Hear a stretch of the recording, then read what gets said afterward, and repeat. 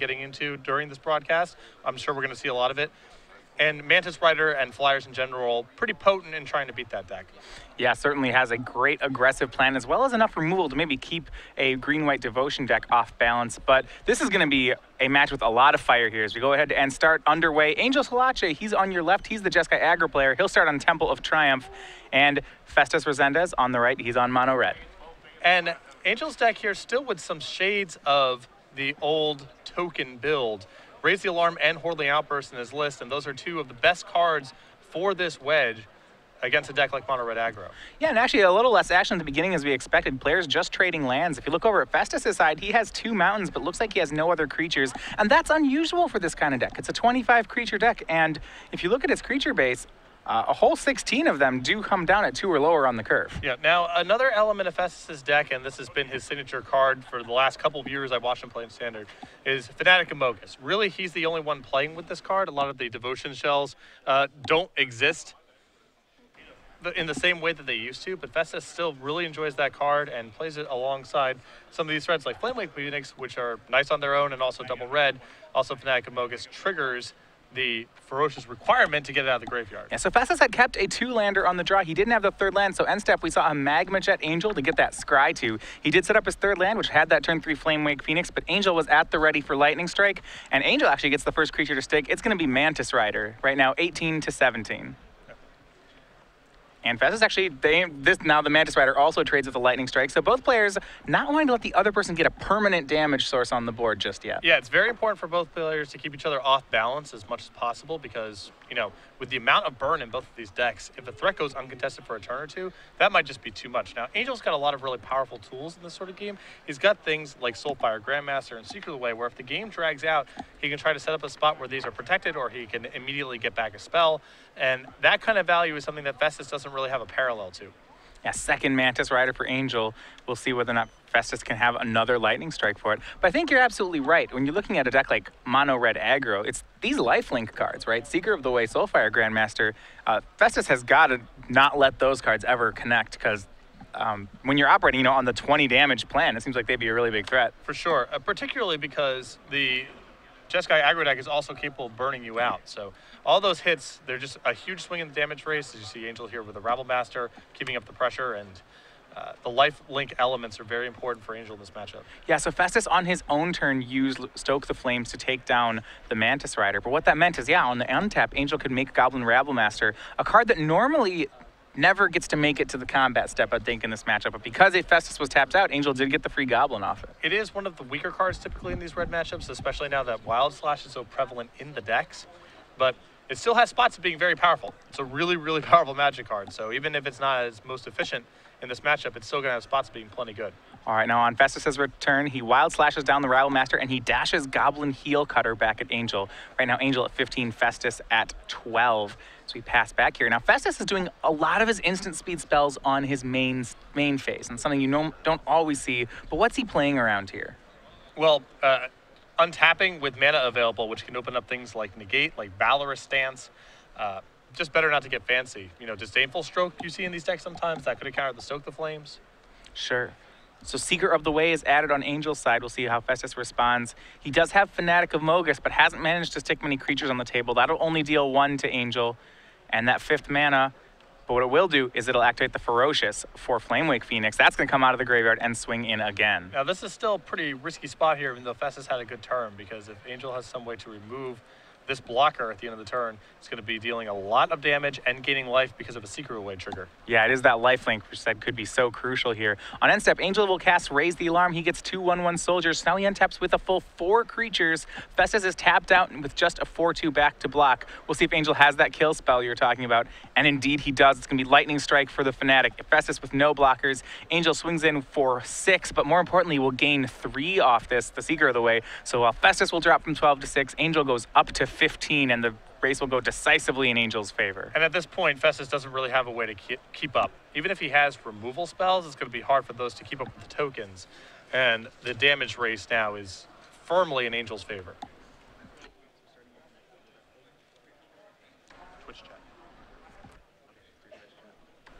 And yeah, back on Festus' side, he has three cards left. We see that heel cutter that he dashed, a Stoke the Flames, and a Wild Slash.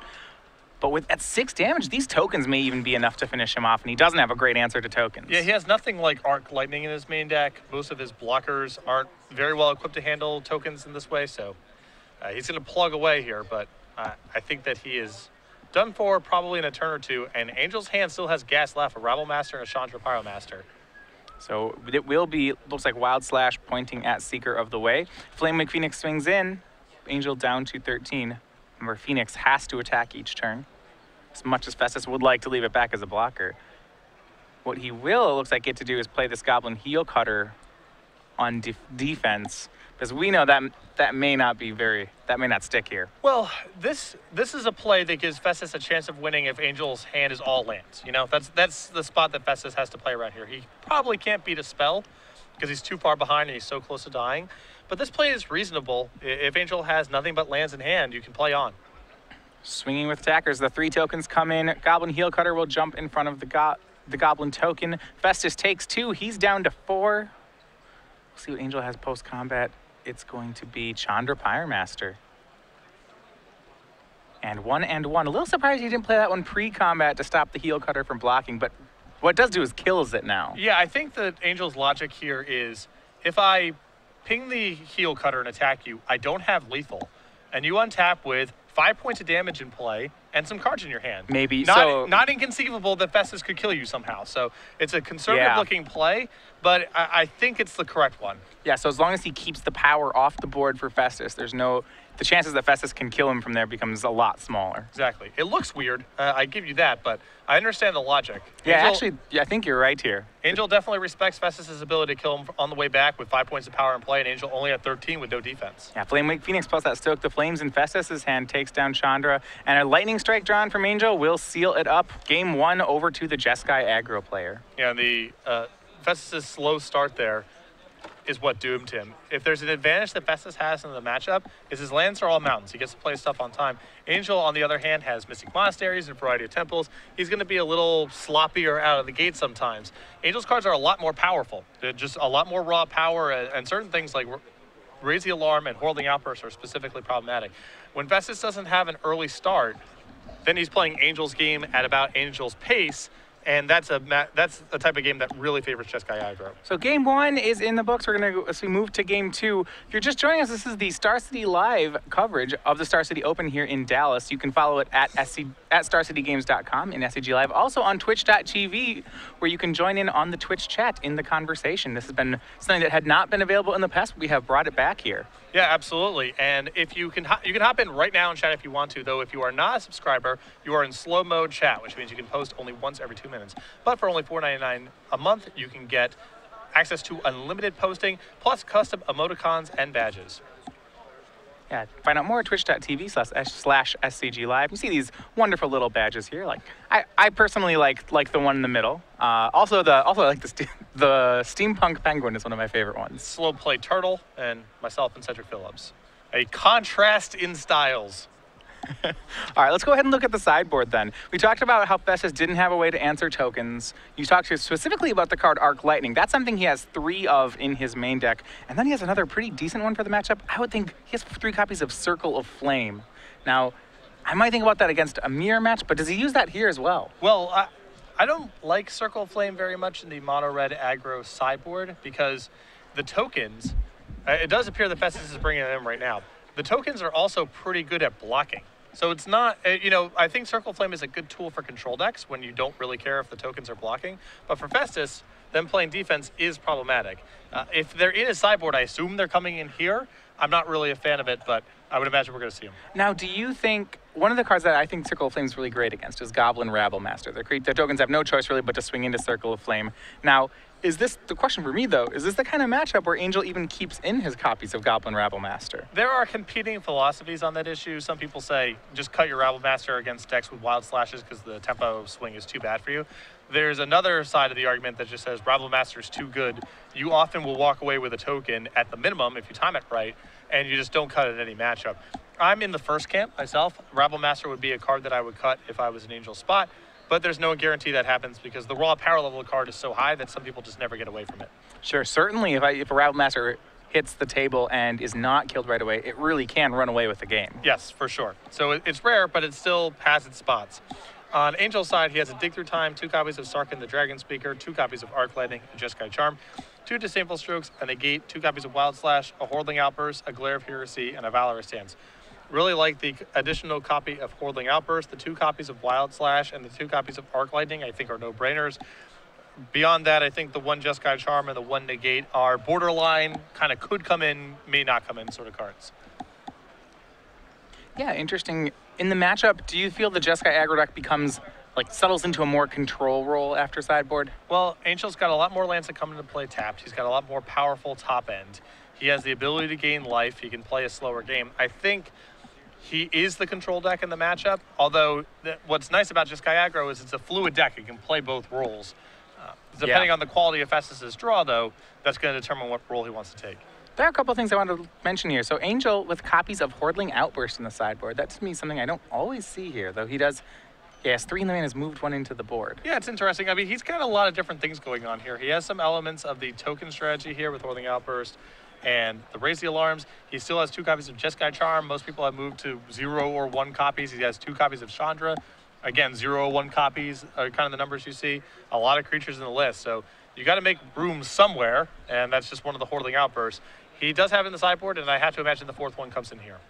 Yeah, well, we're underway again. Festus with no creature turn one and two, one or two. This time he's on the play. It looks like he has kept a hand based on the strength of double Searing Blood. This is a four of in his sideboard as well. And Festus might be kind of a control deck himself right now. His hand is all removal. He's just drawn Circle of Flame. He might be settling up for just a, a really long game here. It does look that way. We see on passing back to Angel on end step, he actually will have the first creatures. That's going to be Raise the Alarm. So maybe that Circle of Flame will get some mileage this game.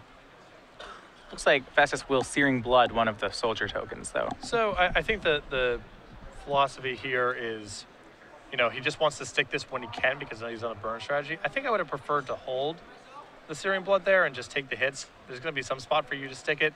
And, you know, now this is happening. Right now, Angel does, yeah, you're right. He plays a tap land and a Seeker of the Way, so certainly another great target for Searing Blood. Festus on his turn will, though, use his second Searing Blood on Seeker. So Angel down to 14. Yep. But no fourth land for Festus, so he didn't have a chance yet to deploy that Circle of Flame. I believe he actually has perhaps two copies in hand right now. He's got a lot of burn. He's got no creatures, and I wonder if he just made a, a swap into a control deck himself. Now, Circle of Flame, if you can get a second one on the board, it doesn't seem half bad. There's a lot of X2s in Angel's deck. And Circle of Flame's going to be pretty fine here. I mean, again, Festus with no real creatures in play.